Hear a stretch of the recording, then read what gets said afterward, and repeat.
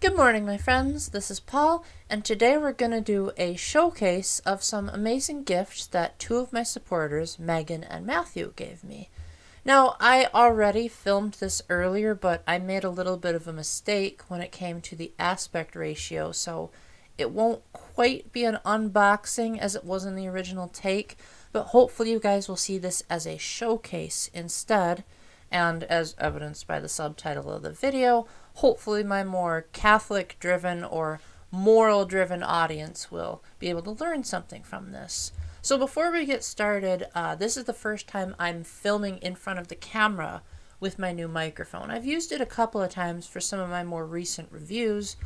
I know it comes with this little thing here, so I'm not really sure if I'm supposed to use it without that or not.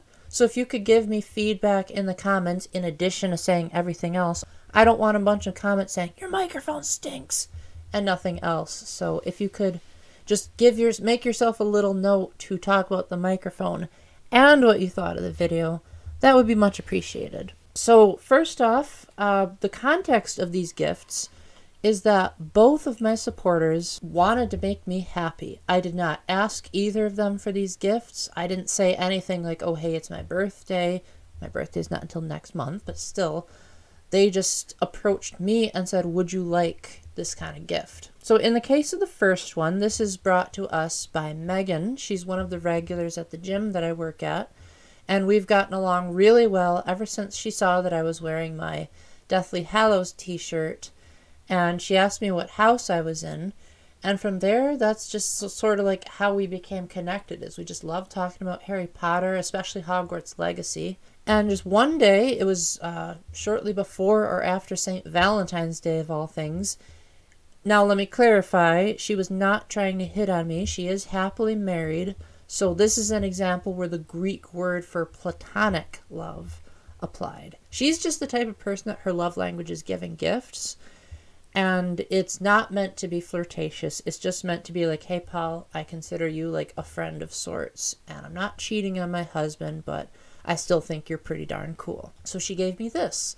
And for those of you that aren't in the know of Harry Potter, this is the Hufflepuff Cup. And the reason why it's in 3D is actually because she has a 3D printer. So she took a 2D image made by one of her friends and was able to convert it into 3D. I didn't even know 3D printers existed until she told me about it.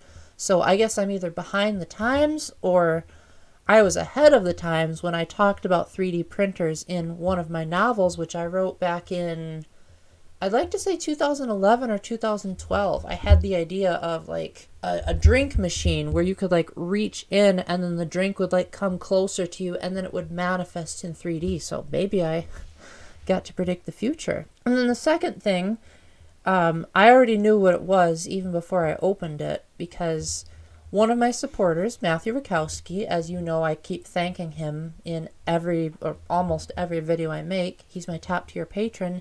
He sent me a message saying, Hey, Paul, would you like this thing that I'm about to show you guys? And I said, Oh, I would love it. Thank you very much. And so he gave me, cue the music, an amiibo of Joker. Now, one thing I want to point out, let's get to the boring stuff before we get into my thoughts on the amiibo itself. They changed the back of the box for the amiibos. Back before the 3DS and Wii U eShops shut down, they had quite the elaborate back display where they had images of what the fighter looked like in Smash, and then it would say like, hey, this is compatible with these systems. But now it just says use amiibo accessories in many compatible games, and then in fine print down here it says look for this icon on Amiibo compatible games. So it's a pretty boring box. But you're not here to talk about the back. You're here to talk about what's in the box. Now, for those of you that don't know much about Persona, Joker is one of the Phantom Thieves. So he wears that mask in the metaverse, which the metaverse is sort of like the cognitive representation of a person's desires. And his knife is like his main weapon of choice, and the blue flames underneath him are the flames of rebellion, because he's so determined to take down corrupt adults with corrupt desires that the blue flames manifest as a result of him saying, I want to change, and so that gives him the ability to summon a persona. And personas are basically like outward manifestations of the desires of a person's heart. It's a bit confusing, but if you actually play the games, it becomes second nature to you. So this is probably the amiibo that I'm most happy to own, besides the Banjo and Kazooie one, because I love Persona 5 so much. I actually have a history with Persona 5 that dates back even before it came on the Switch. I had seen a few YouTube videos talking about Persona 5, and I thought it seemed pretty cool. I liked the idea of time management, the fact that it was an RPG that was so stylish. But I thought, when is it ever going to come to a Nintendo system? And then I was first formally introduced to Joker when he was announced for Super Smash Bros. Ultimate. And even though I had next to no knowledge of Persona 5 extensively, I still remember really liking the Joker DLC because I liked Joker's stylish moveset.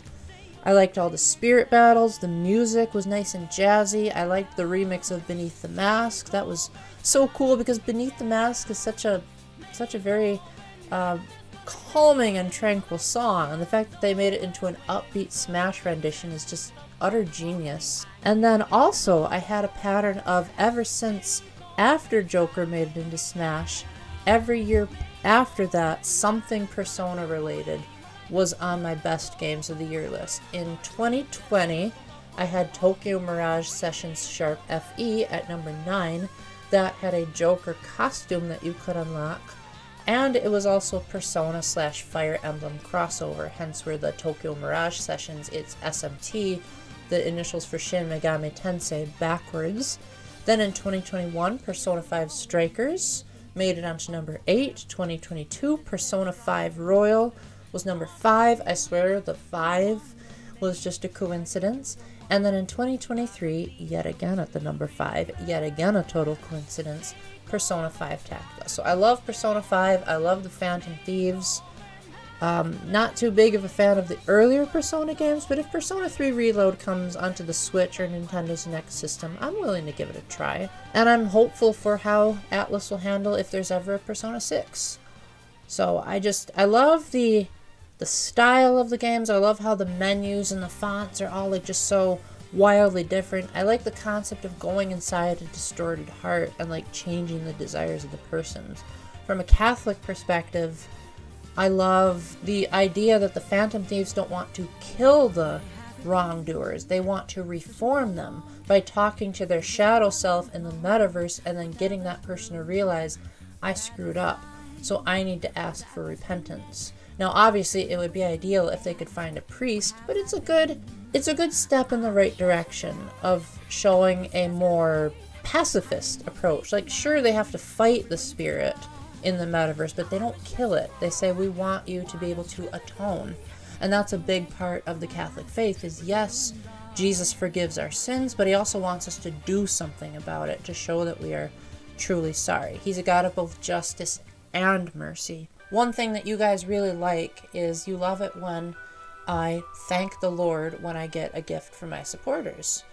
I know that it originally kind of started as a meme, but I am not trying to get another meme. I really appreciate the comments that you guys made on my 3DS unboxing video saying that, like, even the atheists among you have said that you've learned a thing or two from gratitude. And so I'm hoping that if after you hear this prayer that I'm about to give, that maybe it can inspire you to be grateful for what you have or maybe it'll inspire you to want to give generously to those who have less. And if you have less, then maybe it can help you be grateful for what you do have. So without further ado, let's get into it. In the name of the Father, and the Son, and the Holy Spirit. Amen. Dear Lord, thank you so much for Matthew and Meghan being so generous with their gifts. I didn't ask for either of them, but I am still so grateful that not only were they generous, but you probably prompted them to want to give.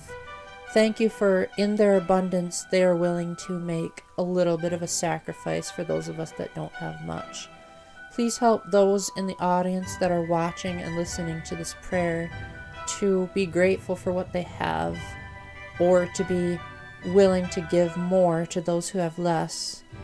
And I just hope that you will allow people to be really thankful for all of the blessings that you give that even when people are suffering, you offer new perspectives and eventually you'll offer a new reality to those of us who are persistent. So Thank you very much for your generosity. Please help this video to make a difference. And please help my audience to feel like they're different people after watching this. Amen. In the name of the Father, and the Son, and the Holy Spirit, amen. And my camera just turned off, so I hope that didn't make the lighting too dramatic.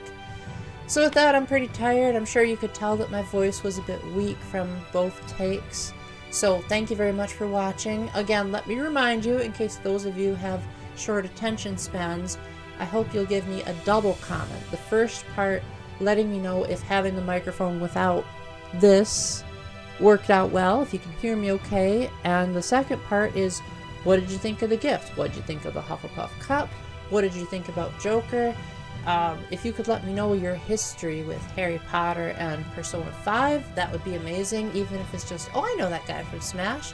That's good enough for me. Special thanks to my Patreon supporters, Matthew Rakowski, Spoon Ghost, and Splatcat, for supporting me on Patreon. And until the next time, remember to keep the faith, stay epic, and God bless. Bye!